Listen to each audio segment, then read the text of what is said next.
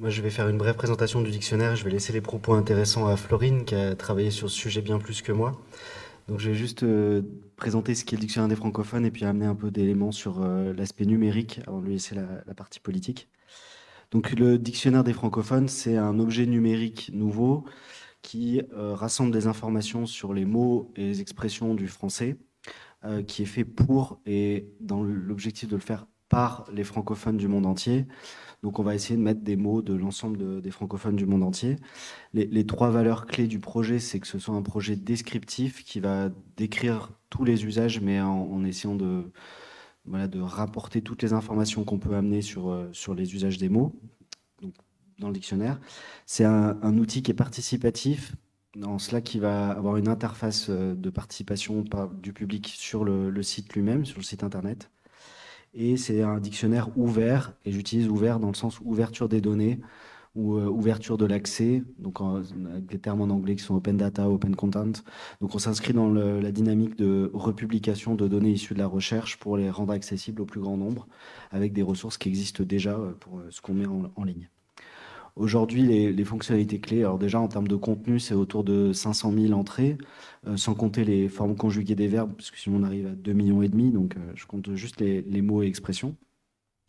L'outil principal, c'est un outil d'exploration du contenu, mais il y a aussi un moteur de recherche qui permet de trier sur plusieurs critères. On peut par exemple demander le vocabulaire euh, de la botanique, de Tunisie, vieilli. On peut avoir des filtres successifs qui s'ajoutent comme ça. Ça, c'est une fonctionnalité de de base d'exploration, mais qui n'existe pas pour d'autres dictionnaires euh, de, français.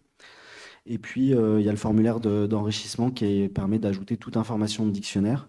Ça, c'est les fonctionnalités actuelles. Les prochaines sur lesquelles on travaille, c'est l'ajout d'enregistrement audio pour euh, transmettre les accents de la francophonie avec différentes voix.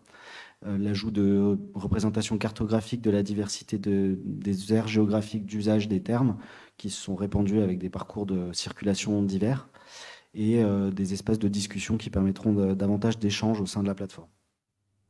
La, diapo historique, le projet a été lancé euh, par un discours politique du président de la République française Emmanuel Macron en mars 2018.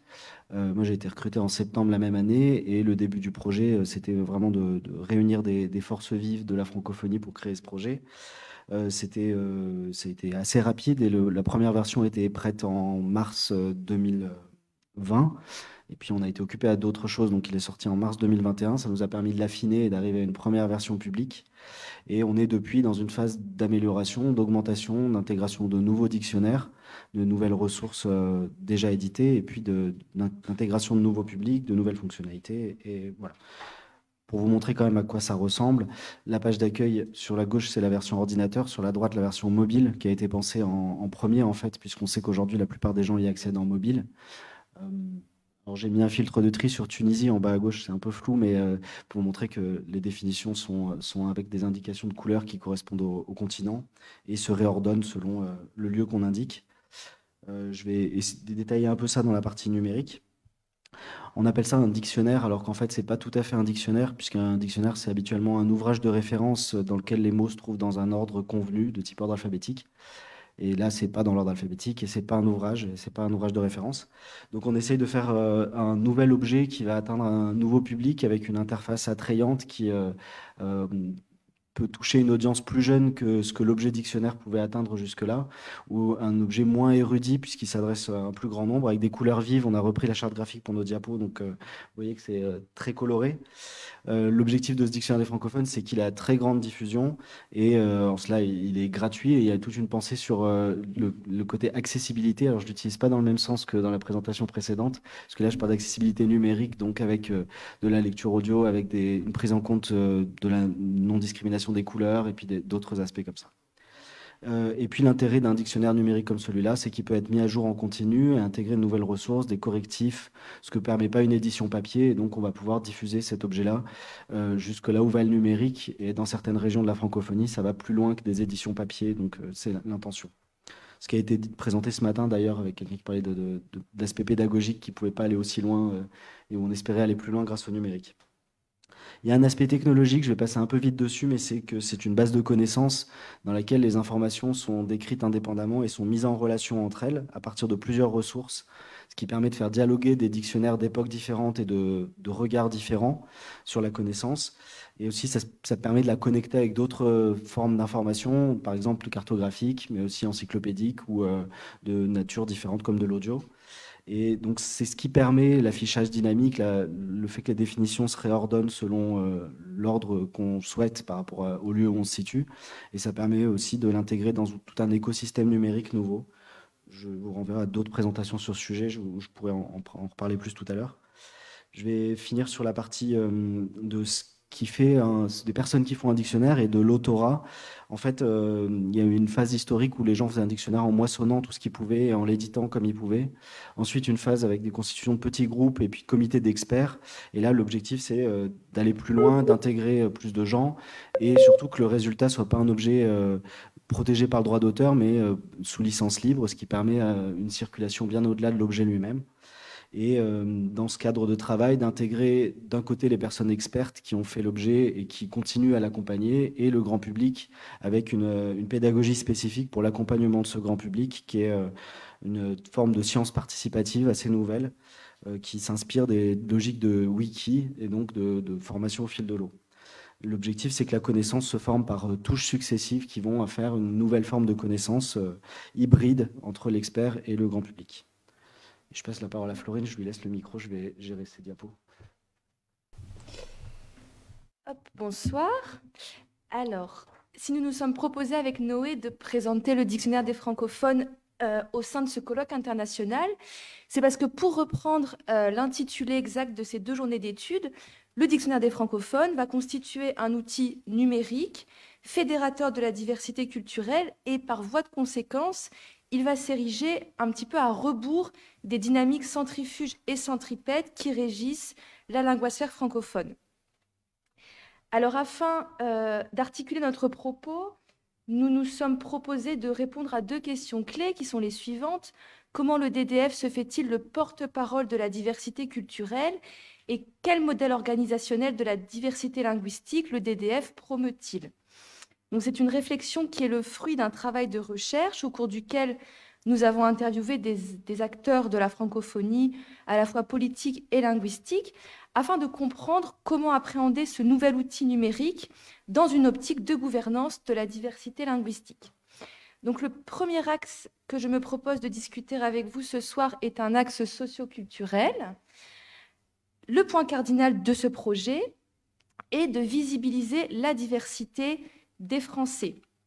Donc il y a vraiment tout un panel d'intentions relatives à la reconnaissance de la diversité culturelle et linguistique qui ont été euh, mentionnées euh, en amont euh, de cette planification linguistique. Sa conception est motivée par un double enjeu, celui de promouvoir la francophonie par les outils du numérique, tandis que de valoriser les variétés géographiques de français, qu'on peut également nommer variétés diatopiques ou topolectales, et qui vont se révéler être les témoins du caractère composite de la linguosphère francophone. Ce sont euh, des enjeux qui ont été mentionnés dès 2019 dans une note d'intention rédigée par la délégation générale à la langue française et aux langues de France. Donc, ils expriment que dans le cadre du plan Une ambition pour la langue française et le plurilinguisme, annoncé le 20 mars 2018 à l'Institut de France par le président de la République Emmanuel Macron. Deux priorités étaient à l'ordre du jour. La première étant de soutenir les projets innovants qui favorisent une large promotion de la francophonie par les outils numériques. Et la seconde, complétant la première, étant de valoriser le français dans la diversité de ses expressions et de ses usages. La promotion de la diversité des Français est donc une orientation explicite qui a été exprimé lors de la cérémonie de lancement du dictionnaire qui a eu lieu en 2021 au ministère de la Culture française. C'est à ce moment que la directrice, la secrétaire générale pardon, de l'OIF, Louise Mushikiwabo, euh, avait euh, défini euh, le, le, DDF comme étant une belle illustration de cette francophonie résiliente, plurielle et ouverte à la diversité. La ligne éditoriale du DDF a été euh, explicité au sein d'un compendium qui a été euh, élaboré par l'équipe de projet et au sein duquel on peut retrouver justement ce souhait de promouvoir la langue dans sa diversité, c'est-à-dire dans la pluralité des normes du français. Donc cette diversification assumée de la langue française est donc un changement de paradigme fort qui va permettre au dictionnaire de s'inscrire dans un combat plus global celui euh, de la reconnaissance de la diversité linguistique à l'échelle mondiale.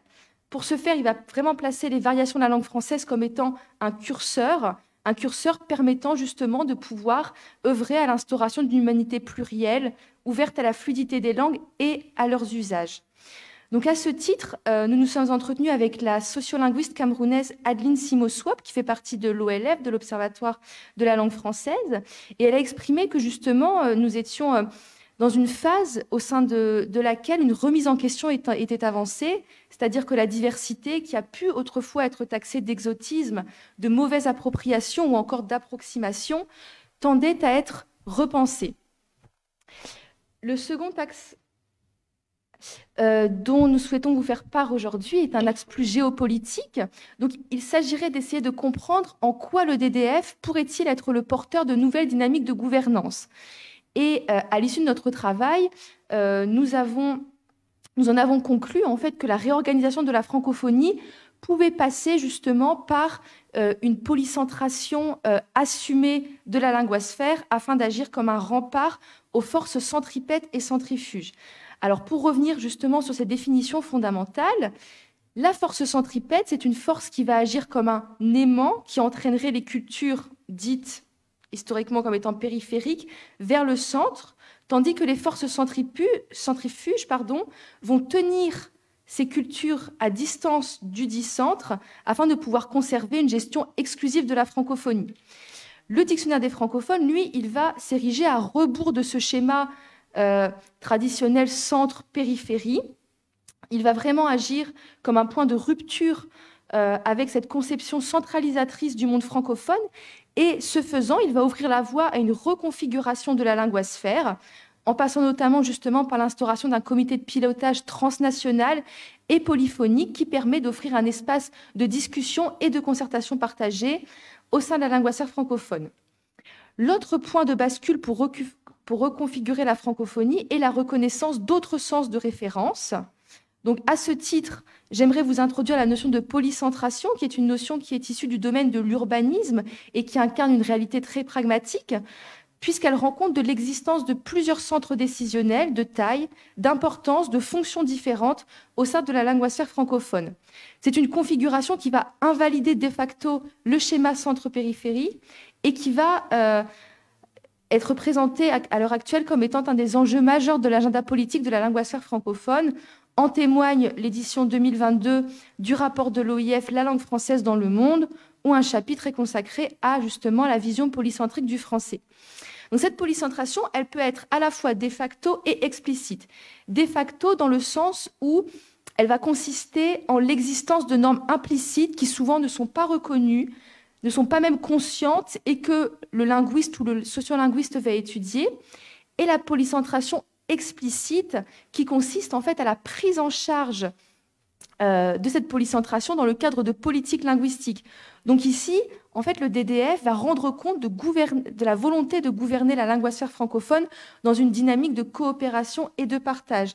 Ce qu'il va faire, c'est qu'il va légitimer, légitimer pardon, les normes endogènes, c'est-à-dire les normes qui sont propres à chaque communauté francophone, alors que jusqu'à la fin du XXe siècle, on avait plutôt tendance à assister à une reconnaissance uniquement des normes exogènes, donc exogènes pour euh, la quasi-totalité des communautés euh, francophones de l'espace francophone du Nord, mais également de l'espace francophone des Suds. Les normes exogènes, c'est Paris. Cependant, cette volonté de polycentration va se heurter à la persistance des forces centripètes et centrifuges au sein du monde francophone. Alors, le DDF, il incarne vraiment une politique des petits pas, c'est-à-dire qu'il va, euh, va établir un programme émancipateur mené en direction d'une disposition spatiale rhizomique et archipélagique du monde francophone, mais tout en étant confronté à la persistance de ces forces centripètes et centrifuges. Alors à ce titre, le sociolinguiste belge Jean-Marie Klinkenberg rendait compte des forces centripètes qui, causées par l'intensité des communications, engendraient une diminution des spécificités et paradoxalement, les forces centrifuges vont continuer à se renforcer, à se, densifier, ce qui occasionne un regain d'intérêt pour les particularismes culturels. C'est un constat qui avait également été euh, fait par la chercheuse euh, Anne-Marie Oudebine, qui disait qu'au XXIe siècle, on pouvait euh, assister à une antonomie, c'est-à-dire qu'on va que la langue francophone allait tendre à défendre la diversité linguistique tout en continuant à s'appuyer sur un système de centralisme linguistique. Alors, en conclusion, on peut euh, conclure que deux modèles se font face. C'est celui des francopolyphonies, ouvrant la voie à une communauté rhizomique et archipélagique, et celui du centralisme linguistique, qui est permis par les forces centripètes et centrifuges régissant la linguosphère. Le dictionnaire des francophones, il est vecteur d'un fort pouvoir symbolique, mais il reste au stade d'intention tant que la véritable gouvernance de la, diversité linguistique n'a pas été instaurée. Alors en, dernière partie, je me propose de, réfléchir avec vous justement à, la propension du DDF à euh, instaurer une gouvernance pan-francophone de la diversité linguistique. La langue francophone, ça constitue véritablement le soubassement de possibles politiques linguistiques à mener dans un cadre multinational.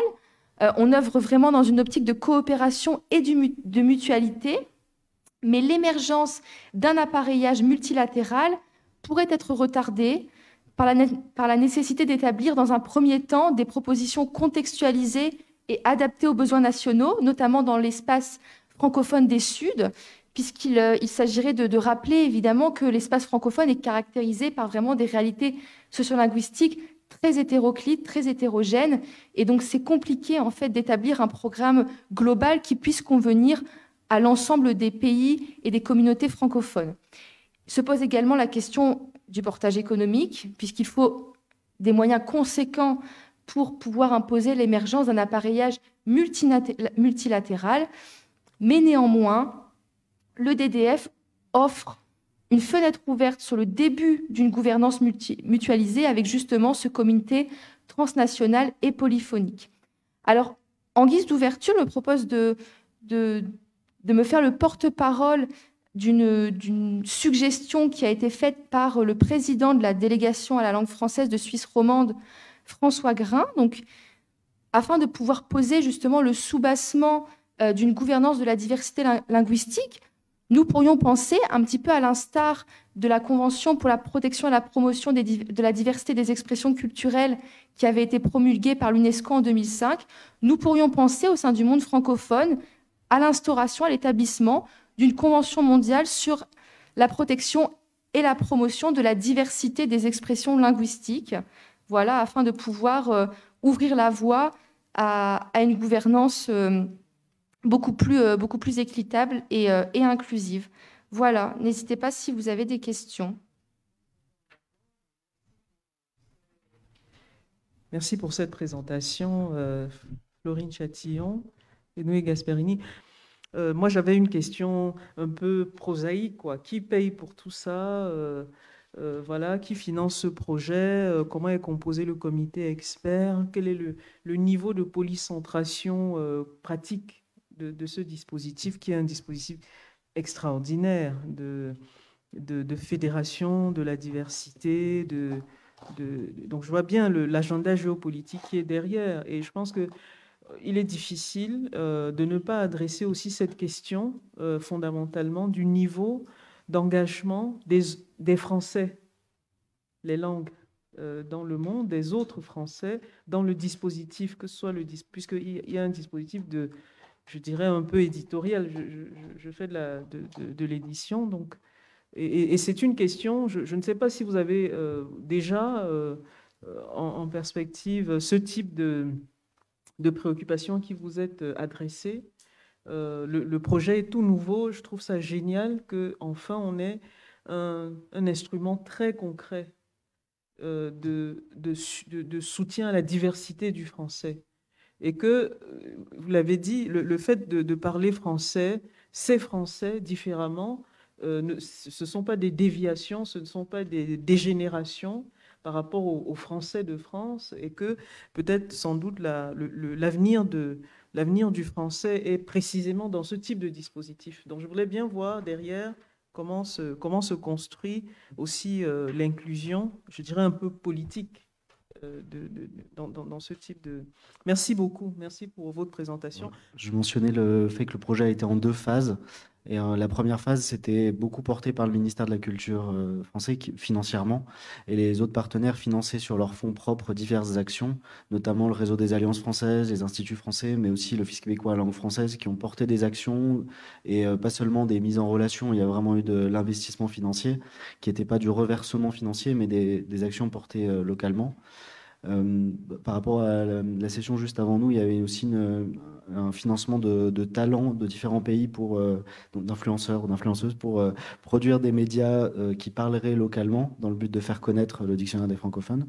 Et ça, ça a été porté par divers acteurs financiers.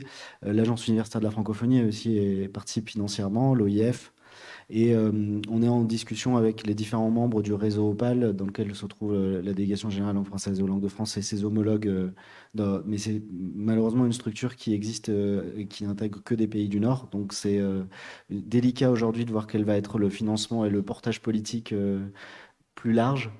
Euh, c'est pas à notre échelle que ça va se décider, puisque nous, on est vraiment, enfin, moi surtout dans l'équipe projet, on est, euh, on est vraiment à la réalisation.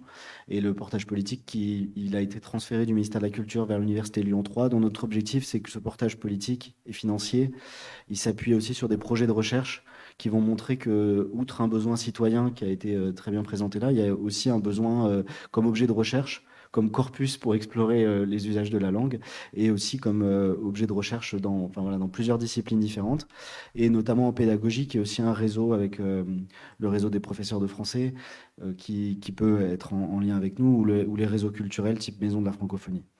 On va essayer de, fédérer ces différents dynamiques pour avoir un portage financier qui se pérennise, alors probablement pas en temps court, mais en temps long, et implique euh, un maximum de forces politiques et dont la plupart n'émaneront pas de France, euh, espérons-le.